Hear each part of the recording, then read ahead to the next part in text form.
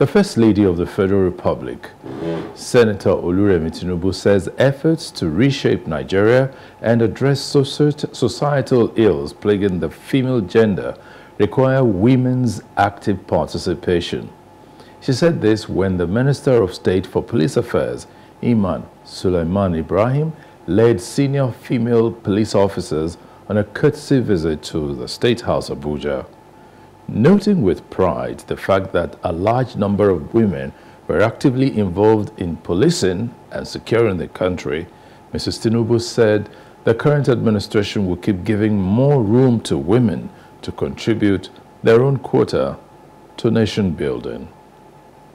So I want to thank you, and I believe that, you know, with the crop of women in the team of Mr. President, uh, you know, I don't think this will, this, this will be the end for women. I think it's just a beginning of a new dawn for us, and uh, for us and for uh, gender to be respected and given the, you know, a very healthy playing field to be able to contribute our quota to society applauding the First Lady for setting the pace and advancing the interest of women, Minister Imaan Sulaiman Ibrahim noted that gender equality, safeguarding of human rights and empowerment of women were key anchors of a just and fair society.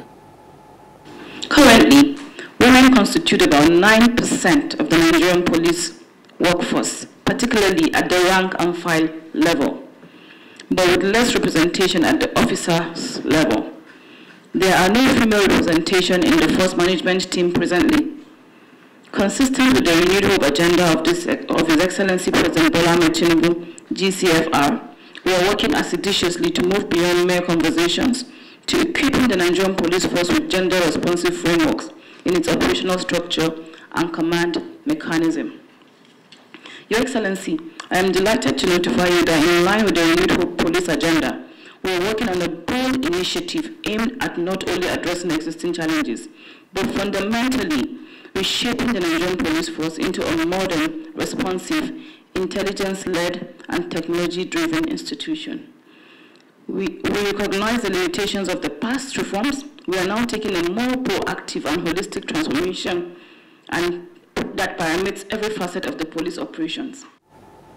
Imaan Sulaiman Ibrahim is the first female Minister of State for Police Affairs in Nigeria.